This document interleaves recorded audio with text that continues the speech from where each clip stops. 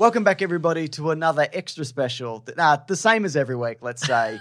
what If recap, where this week, Marvel's animated show, What If, asked the question it's just zom- zombies. What if zombies? Yeah. They didn't even really need, you know, the the the origin of the zombies, the quantum virus, the etc. No. I mean, it's nice to have it, but I mean, you know, Mm. but the people aren't in it for that. They're just like, what if zombies? they, th these Mar- Marvel knows what the public want. This is quite, you know, a, a different from because um, Marvel comics have had numerous strains of Marvel zombies. Yes. They originated, I think. also, leave a like. Yeah, if you People could. should leave Yeah. a like. Do, do the thing. Yeah, yeah. Yes. Yeah. Um, they originated in, uh, I believe, Ultimate Fantastic Four, Okay. which was a sort of a parallel uh, Marvel comic book universe, which was like a sort of a modernization of a lot of classic Marvel comic characters for the modern age. Mm-hmm. And that was a Mark Millar story, I think.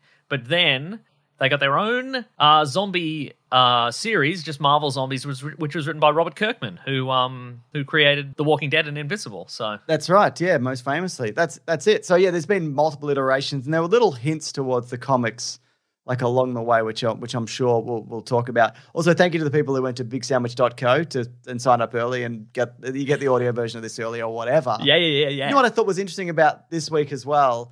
Two weeks. Uh, we've had two episodes. Sorry, where Hank Pym is the villain. Right, yeah. And there's a pretty grim trend in a lot of these. Like it was, you know, Avengers were murdered. Uh, you know, zombies and what was the one last week that was uh, quite yeah, Doctor Strange, evil, stuck in a little Yeah. awful dimension where he destroyed everything. Yeah. Uh, uh, most of these just like what if, just but terrible. It's terrible. Well, I mean, is that a function of the fact that uh, Marvel probably have more interesting heroes than they do villains? So, like, sure, if you got you got to do something with the heroes, you know what I mean? If you if you if you're like, what Yeah. if what if Red Skull was slightly worse? I don't know, bigger bigger Hydra symbols. I don't know, A squid, maybe? maybe a squid. Maybe there's a squid. Yeah. But what is interesting, I think, about these Marvel zombies as distinct from the comic book Marvel zombies is the comic book the comic book Marvel zombies are for the most part intelligent. yes. Their intelligence sort of wavers up and down. It sort of depends on how much how many brains they've eaten recently, but they can yeah, sort of it's it's hunger levels and yeah, yeah, stuff, but they yeah. can sort of they they can carry on conversations. They retain a lot of their Yep. intelligence. They can you know use you know all the all the weapons and powers and stuff that they had you know when they were alive. These Marvel zombies they can still use their powers to some extent. Yeah. but they are just they are otherwise sort of your classic kind of Romero or Zack Snyder zombies that are just kind of br- brainless and shambling. And Hawkeye can still use his bow because I guess that's ingrained into him, but he can't, you know, have a conversation about Budapest, for example. no. That's right out the window. Oh, mate. The thing that he loves the best in the world. That's right. And I think that's that's probably my favorite thing about that character. Mm-hmm. That thing that he brings up every now and then. yeah, but so this week we got Mark Ruffalo, Sebastian Stan, Evangeline Lilly, Paul Rudd, Jon Favreau, Danai Gurira, Emily Van Camp, David Dastmalchian, and then surprise appearance, but not really, by Chadwick Boseman Mm. uh, and Paul Bettany at the end, which again speaks to that thing I said a few weeks back of like maybe don't put all the names up top because then you know Black Panther's going to show well, up. Well, I mean that is true, but also I, you know, I, at the same time, I, I, I always get a little thrill when I see the the title sequence and I see all the actors that are being Yeah. popped in, and I'm like, oh, we're gonna get a, we're gonna get an Emily Van Camp, we're gonna get a Mark Ruffalo. That's Yeah, that's like, true. We're gonna get a guy that sounds, we're gonna get a guy that sounds quite a lot like Tom Holland. Very, very good work. Oh, yeah, Hudson Thames. Yeah, he does an excellent Tom Holland. Also, apparently, and correct me if I'm wrong in the comments, which I'm sure people will. This is like the first time Uncle Ben is mentioned in this universe by name. it seems that way. Like we see like his suitcase. You know, Yeah. there's obviously hints towards him, but I see. Yeah, Hmm. I, I feel like it's it's it, it's definitely the first time Spider-Man has referred to him as Uncle Ben. I think maybe Aunt May has possibly mentioned Ben in passing. Maybe. Okay, But again, yeah. the, the comments will know for sure. they'll definitely know. but uh, yeah, I. I feel like it, it was quite jarring for him to say Uncle Ben. I'm like, huh. There you go. They- Good for that- him. That got good for him, yeah. So I've seen also, and, and I can understand this complaint that the tone of this was a bit all over the shop because you get like there's a lot of like darker stuff happening, and then you just getting quips of just like I'm just ahead, I'm just ahead. You know, it's, Yeah. it's Paul Rudd just telling everybody. Well, exactly. You know, we, we got, as the aforementioned, you know, uh, Peter Parker being really sad about, you know, the death of Aunt May and Uncle Ben and Mm. Tony Stark and Happy Hogan and all that sort of stuff. But at the same time, he's making fun little Zombieland style videos about how to survive the zombie apocalypse. Yes, exactly. Remember your Yeah. cardi- cardio, you know?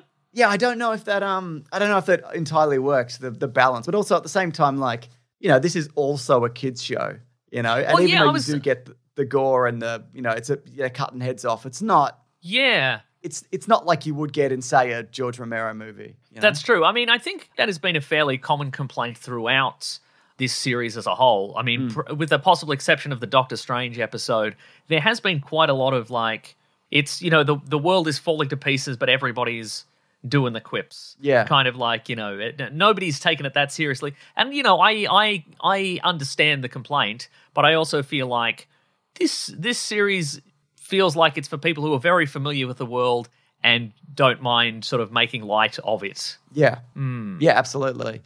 Yeah, and look, and we'll talk about the ending. Just because there are like quips throughout, it doesn't mean it won't end on like you know a, a darker kind of twist. You know what I mean? It'll Yeah. kind of leave things up up in the air. I liked how it did open with Infinity War, though. That's good fun. We got plenty of beheadings, like straight out of the Yes, gates. yeah. Um, I enjoyed seeing the return of the Iron Man watch from from um, Civil War. Happy Hogan sporting that That's right. Yeah. Mhm. for a time.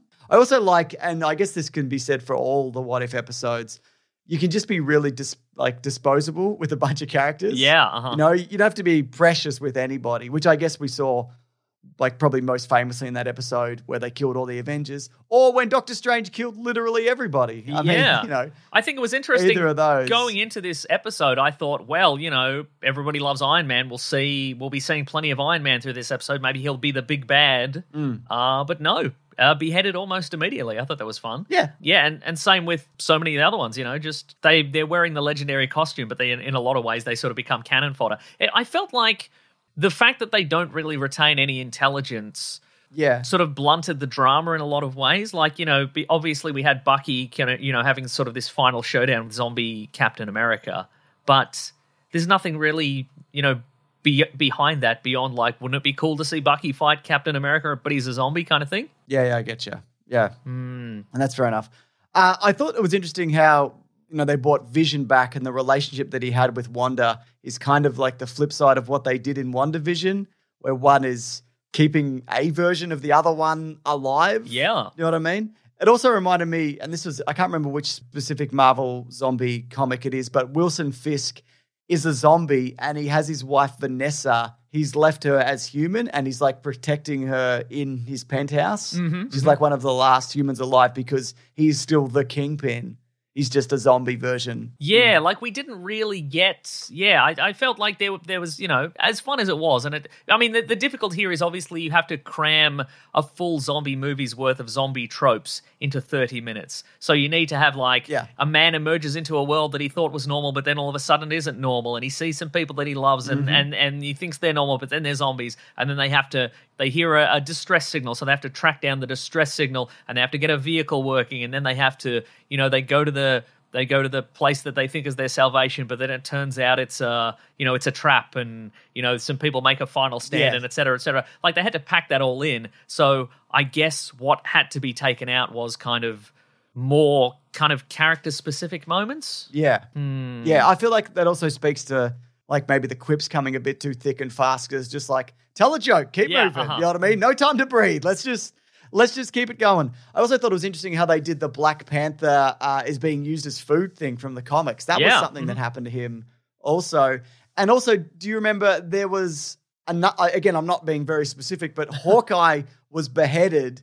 And just and he ends up just being like a head in a jar, which is like a similar thing to what they did with Paul Rudd. And I do enjoy like that Futurama style head in a jar with the Doctor Strange cape around it. Yeah. That's good stuff. Mhm. Uh, what did you think about Vision sacrificing himself at a, a very suboptimal time? You know what I mean? Uh-huh, just sure. letting the zombies pour in and then Scarlet Witch breaks out and is just like, bye, everybody. Like, you couldn't have waited like 10 minutes. Just like, oh, there's the hangar. It's like 100 meters away. I'm going to kill myself now. You know? I guess he's not thinking clearly. No, that's true. Yeah. hmm Uh, what do you think about that? Also, that death is not the end speech from Chadwick Boseman. In my culture, death is not the end. They are still with us as long as we do not forget them. It feels like every line that he gets now, it's kind of there is so much more weight to it. You know what I mean? Yeah, yeah, yeah. Yeah. I wonder if that's. I, I wonder if maybe he pushed for that during production. Like maybe like Yeah. Maybe just that that character has a certain amount of gravitas, so they wrote lines specifically for that kind of kind of tone. Mm. Or maybe he was like, "Listen, can you give me something that isn't a quip, please, if you wouldn't mind." Yes, please. Also, I think it's you know pretty funny to be like, death is not the end. Well, at least it's not in Wakanda because well, the kings at least specifically go to live in a magic tree. I don't know what happens to everybody else, but all the kings get to hang out in a magic tree, and that's great. Everybody that. else gets to live in a magic ditch. It's not as good, but at least you got that Oh, ditch. it's magic though. Yeah, it's magic. Yeah, yeah, yeah. yeah. Yeah, cool. So this is one of the episodes also that I felt like I could have used more on, uh, because it ends on a cliffhanger. yes. we get the reveal that Wakanda has been taken over by zombies and Thanos, uh, who's missing one Infinity Stone, which is coming his way. Mm-hmm. Do you think they're coming back to this? Did were you satisfied with the way it ended? Yeah, I love a good cliffhanger like this. Why not? I mean, you know, and most of these universes are doomed. Why not? Yeah.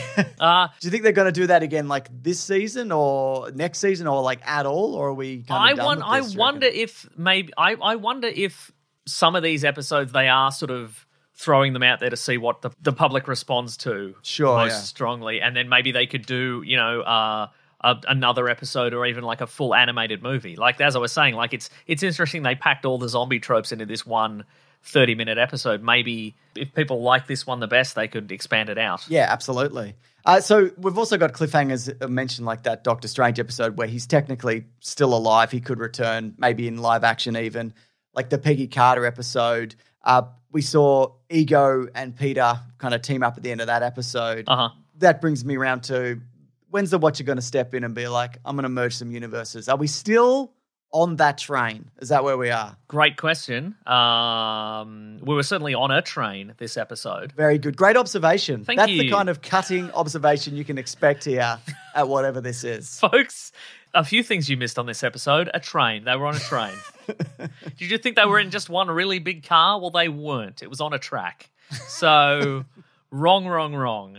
Uh, but um, yeah, he he. Uh, after last week's episode, I thought perhaps there would be a moment. You know, perhaps we would have you know uh, a zombie Thanos about to acquire the last Infinity Stone, but then the Watcher's like, hmm, do I step in because he's gonna destroy this universe? But then again, I got other stuff to do, and then he wouldn't. cares? Yeah, Yeah. but I, I thought maybe that this would be you know the the the second and the kind of third times the charm idea of like maybe he wouldn't interfere a couple of times and then things get too bad so he has to step in but maybe it'll be next episode maybe they give Yeah, us yeah. a breather Well, next week is what do we got next week? Episode 6 Mm-hmm. and there's nine in total. And we know that there's at least two, we know of at least two other episodes. There's the Party Thor episode, Mm-hmm. and there was the one where Iron Man is rescued by Killmonger. yeah Have you seen that in the trailers? yes When he's when he after that you know that incident which puts the hole in his heart or whatever. Mhm, So I wonder whether the like I thought episode seven they were going to start merging, and you thought six. yes Do you, do you want to change anything about that? gosh i mean hmm, Bearing in mind there are no stakes. There are- None of this matters. whoa You need to bear that in mind, all right? okay well then i'm gonna say it's already happened I bet it's already happened. No, I'm going to say I think it happened. I think it will happen. Maybe if there, if there's if if we've seen Party Thor and this this Iron Man uh, Killmonger combination, that's two episodes. Yeah. I'm going to say it's going to happen at the end of one of those. I reckon. Okay, fair enough. I reckon maybe the whatever whatever episode seven is. I think he's going to interfere in seven. All right, fair enough. Maybe maybe like right at the end. Yeah. So you're jumping on, uh, for lack of a better phrase, train, my, my train. Mhm, Yep. You yep, know, that yeah, yeah. famous expression? Yeah. Are you jumping on my train? and let me tell you, James, I have purchased a ticket at the ticket kiosk, and I've the, the man with the with the with the little hat has, has clipped it, and I'm getting on that train, James. Your train. you could just do that on your phone now. You don't need to go through the kiosk. You could there's a there's a barcode you can scan. I like the experience. But I guess you like the human interaction. yeah, yeah, yeah, I like I like the it's it's yeah yeah I do. Yep.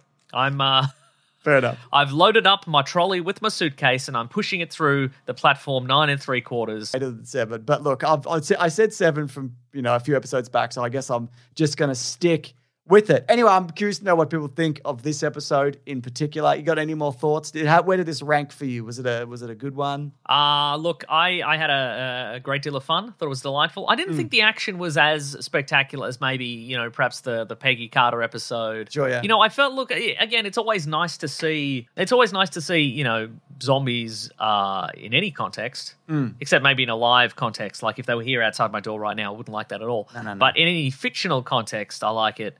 Uh, I just thought it was a bit of a shame we didn't see them. It's it's not that they didn't feel like the comic book versions of the zombies. It's just they didn't feel particularly like they didn't stand out from regular zombies beyond the fact that they sort of had Yeah. kind of control of their powers a little bit. Some of them. Yeah, no, I see what you mean. Because one of the things uh, I, I did like about some of the zombies is when you'd get their powers in full force. Like from the start, I'm like, we better be getting a giant, eh, like Ant Man zombie like situation, and we did get that with, Yeah. with the Wasp.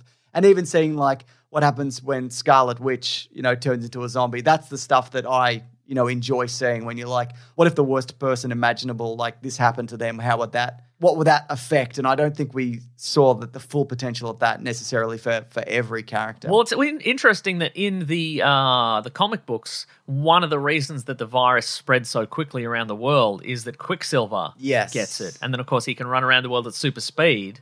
Uh, I thought a little interesting they didn't get either Quicksilver Yeah. uh, for this. May- maybe people were like, I was going to say maybe, maybe it's because they used him in WandaVision, but they used Wanda and Vision in WandaVision, and they hap- they were happy to bring him back here. So don't know. Yeah, Yeah. true. Anyways, as mentioned, these go up early at bigsandwich.co, plus a bunch of other early videos, including Caravan of Garbage. We're starting Casino Royale this week, and uh, a couple of days or a day or so after this goes up, where there's going to be a Matrix Resurrections trailer breakdown. Are you excited for Matrix Resurrections? Very excited. I've seen the, the tiniest of snippets, and I'm like, ooh, Mm. jumping and and and and and rain and squids. My goodness. Oh my. Have you checked out whatisthematrix.com like you did in 1999? I am very excited to do so. Oh my god, that that that was a, just a just speaking of Easter eggs, that was just a just a font of Easter eggs back in the day. Ah, Boy, was it. yeah. Yeah, yeah. Good stuff. Uh, anyways, thanks everybody for watching. I'm at Mr. Sunday Movies on Twitter. I'm at Wikipedia Brown on Twitter, and I've changed my mind. I think episode eight, just just to be Okay, fair enough. just as a point of difference. Just you know, All right, let's do it. that's right. And now, thank you as always to uh, Rob Collings for doing this edit. He does it, doesn't he? and we appreciate it. I mean, we're assuming he does it. Maybe he maybe he farms it out to someone else after you farm it out to him. Oh, he's outsourcing. Yeah, he's outsourcing, I think, Well, yeah. kudos. yeah, right. Either way, you know what I mean? Yeah, yeah, Don't work hard, cheat, and win. That's what I say. that's right. All right, thanks everybody. Uh, grab that gem, you guys. We will see you next week. Goodbye.